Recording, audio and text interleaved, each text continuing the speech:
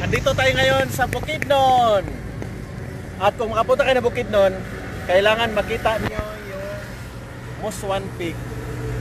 Ang Muswan Peak ay isa sa active volcanoes in the Philippines.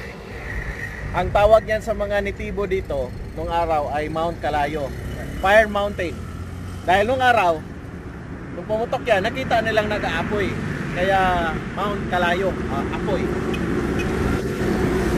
The last time na na-record ang ano to, yung pagputok nito is 1866, 1867, 1887. Tapos naglindol dito na posible dahil sa may movement pa dito sa ilalim ng bulkan noong 1976. Ako ay 3 years old pa lang during that time at noong 2011. Kaya itong bulkan na to, although walang crater na makikita dyan, ay posible nasasabog anytime. So just imagine what will happen to our beloved Muswan campus ng uh, ating university dito. Mayroon tayong universidad dito na ang isa sa kanilang specialty na courses ay agriculture. At dito sa ating harapan ngayon, na, nandito tayo ngayon sa western slope ng ang Muswan, Mount Muswan o Mount Kalayo andito yung Bukidnon Dairy. Makakabili tayo dito ng presko na gatas ng kalabaw. Itong kasada na to, ito yung Sairi Highway. Ang direksyon na yun, Cagayan de Oro. Ang pa-south ay papunta sa Carmen, Cotabato, Jensan. Yan yung kasada na yan, Sairi Highway.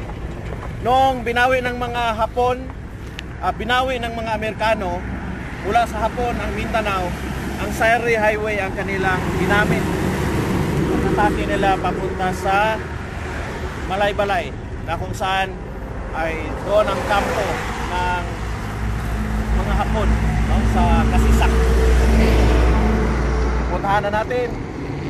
Panurin na natin yung anong mabibili ito. Alamin natin.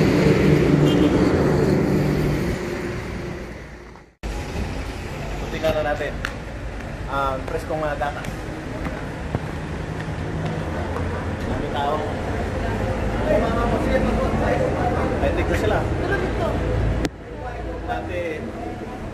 Ningalaki yung anak ko dito dati. DB in 2007.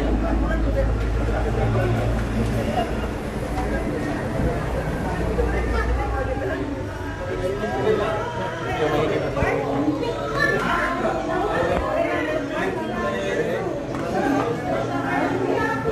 Kanya-kanyang tingin kung ano gusto mo.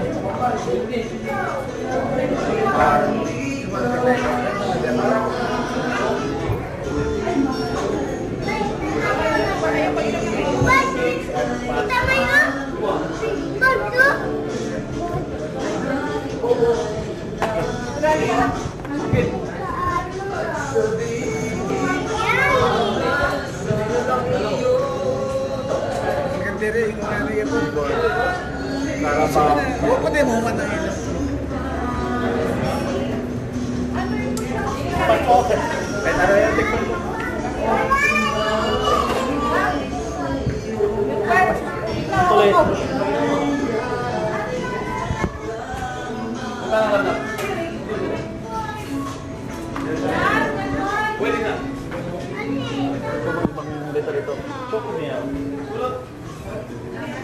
Choco milk. Chocomel. Kita kasi masarap dito kaya pag pupunta kayo, lahat na yan, sir, dire lang dire. Kesong puti.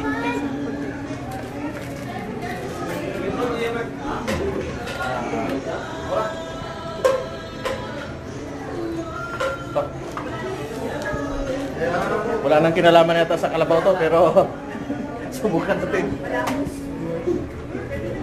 Tamis.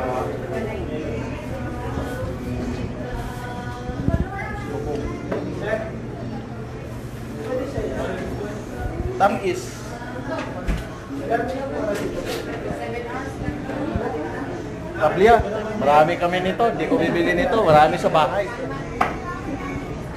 Tamis. Natural sweetener. Oh, ito ah.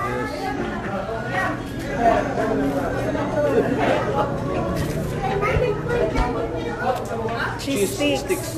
Cheese sticks. Buka na nila. Tam is siguro mga pang-healthy diet. Hindi pa niya. Alright.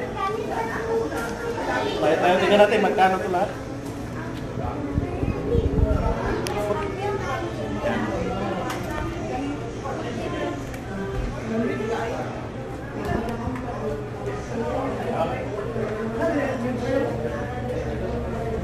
Lagi tayo magdasal. Hindi pupunta kasi literally andito sa gilid ng Mount Muswan itong lugar na to. Andito ko sa gilid ng slope mismo. So dapat dasal-dasal tayo sa Paumay Kapal na hindi pupunta. Bulikan na yan.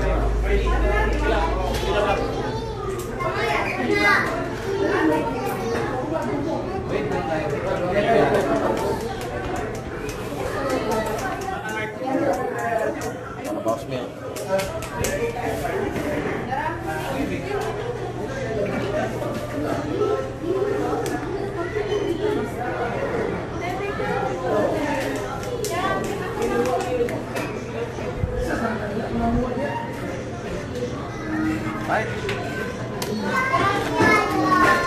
Okay. Banana.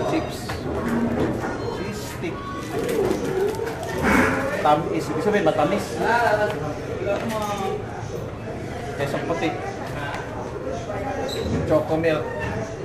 Pero ito, madaling sira to kaya dapat mainom ka agad. Ipasalubong mo, maybe one or two days. Lagay mo lang sa freezer. 7 hours travel time. 7 hours travel time. 1 month, basta naka One month basta naka-freezer. Thank you. Good info. Okay.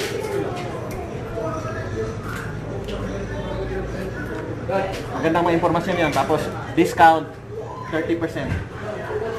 Meron? Wala. Wala discount? Wala, walang discount. Ah, Bisag taga Bukid nun? Wala gani yung discount. Ah, wala. Kahit taga Bukidnon ka, wala ang discount. Dapat kumita ang ano. Kanil, sino bang may-ari dito? Sa gobyerno? Eh, sa government pala to eh. Oo, sa government pala to. Ibig sabihin, hindi mahal dapat, no? Hindi dapat mahal, no? Saan ba mapupunta ang kita ng, ano, ng uh, Philippine Carabao Center? Saan mapupunta ate? Saan mapupunta? Kawanggawa? O Meron, marami product ko yung PCC, sir. ano man? Kagaya ng 1,000 sir. 1,000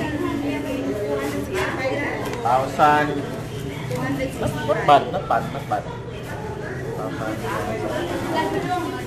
Dahil ako nga sila pa yung Walang discount kasi mura lang dito, sa totoo lang. Magkano ang tote? 95. Na, 95. 95 pesos. 95 pesos. 735. Okay. Thank you po. Okay, sukli. May discount na ako. Dati, sinikreto lang ni ate yun, meron. May discount. Thank you. Thank you. Okay.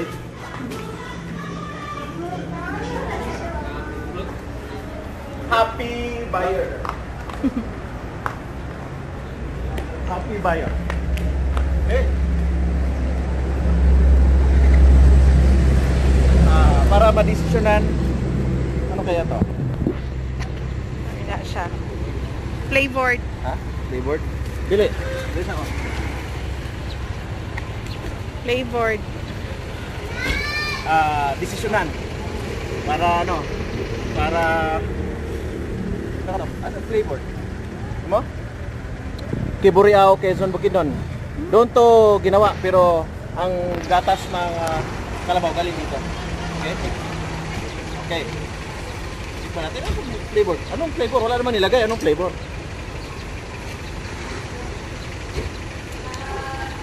Ano pa. Ah Carabao at saka ano? Carabao at saka may lasa siya na kakaiba eh. Pipino yata ito eh. Cucumber. Ah, cucumber. Oh. May gatas.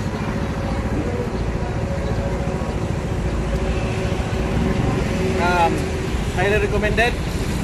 So, kung galing kayo ng Jensen, Davao, if you travel around Mindanao and mapadaan kayo sa Saire Highway and upon seeing Muswan Peak, don't forget merong Bukidnon Dairy sa Philippine Carabao Center. Tikman nyo, guaranteed, masarapan kayo. Simple spot.